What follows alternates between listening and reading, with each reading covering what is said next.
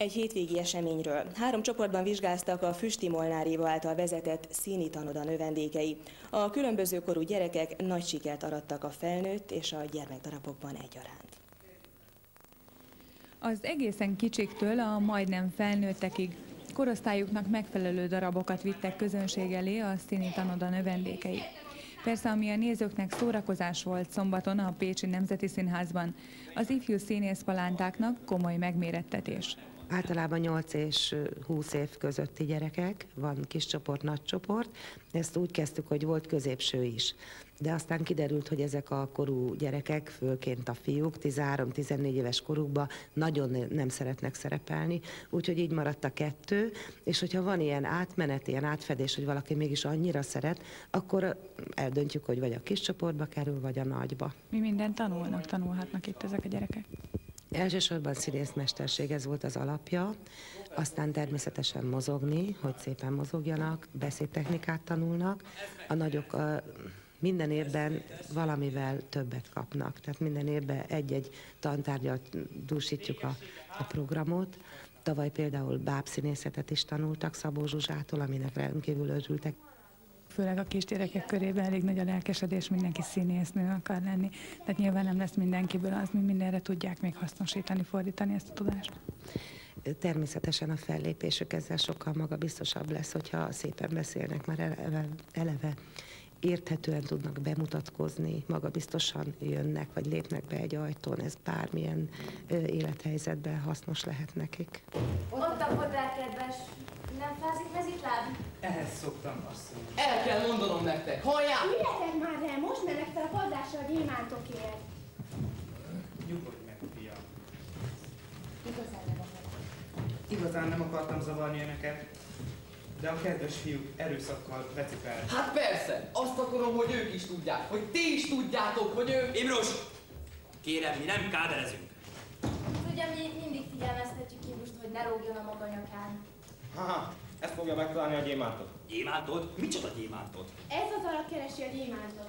Meghalt a férje, a fürdőszobában találták meg. Ez az Adáshiba című darab volt, és én Vandát játszottam. Végül is az egész darabnak az volt a lényege, hogy a család, az én családom ilyen teljesen tévémániás, és az emberek nem, nem tudnak egymásra odafigyelni, hanem mindig egy második szinten beszélnek egymással. 16 évesen mennyire nehéz megformálni nektek egy ilyen szerepet? Hát az az igazság, hogy én most csak a magam példájából tudok kiindulni, mert nekem ez volt a második darabom, és végül is nagyon elég sok munkát fektettünk bele, minden héten próba volt, valamikor még több is, de hát végül is meg lehet tanulni, és csak gyakorlás kérdése. Ez a tanfolyamszerűség azoknak is, azoknak is nagyon jó, akik csak a gátlásaikat szeretnék oldani, mert, mert végül is ez az élet minden területén felhasználható, hogy az embernek bárhol előadást kell tartania, vagy megnyilvánulnia mások előtt, akkor ki kell állni és hát vállalni önmagát. Úgyhogy végül is gátlásoldónak is jó, és tényleg beszédtechnikát is tanultunk, szóval elég hasznos. Ide nem nincs annyi szent. Ha nincs lent, akkor talán fönt van. A logika szabályai szerint Fönt? Netán az én ágyacskámban? Mindjárt megállapítjuk meg Heten majd csak elbírunk azzal a valakivel. Gyerünk! Ó, borzalom, egy óriás! Hagyjuk kísértet! Bárki legyen is, pillanatnyilag azt fogjuk körül, és támadjuk meg át. Felezzék be! És senki meg nem ukkanjon. Ha, ha, ha, ha, ha, Én tavaly jártam először, és nagyon jó. Szerintem is én is szeretnék még járni erre a tanfolyamra. Tanulunk sok mindent, és ha nagyok leszünk, lehet, hogy színészek leszünk, és meg lehet tanulni, hogy mit kell csinálni akkor. Meg szerepelni lehet, meg minden. Jó.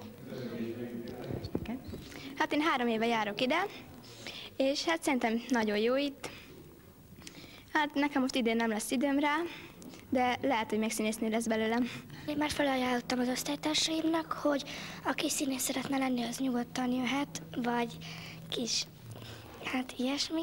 És ö, még tanulunk zenés ö, művelést, amelyben nem beszélünk, hanem zenére előadást csinálunk, és tornát.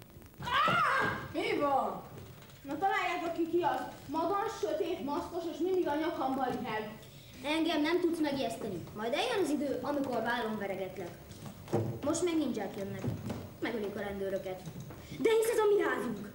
Zed, segíts! Jönnek a ninják! Mindig változik a, egy kicsit a, az összetétel. Jönnek újak, egy csoportba elmennek, megint újak. Mondjuk már kialakult egy mag, és tényleg van, aki már negyedik évadját kezdi, de mindig más az összetétel, és mindig az, azon a meglévő gyerekekre kell kitalálni, hogy mi lesz a bemutató.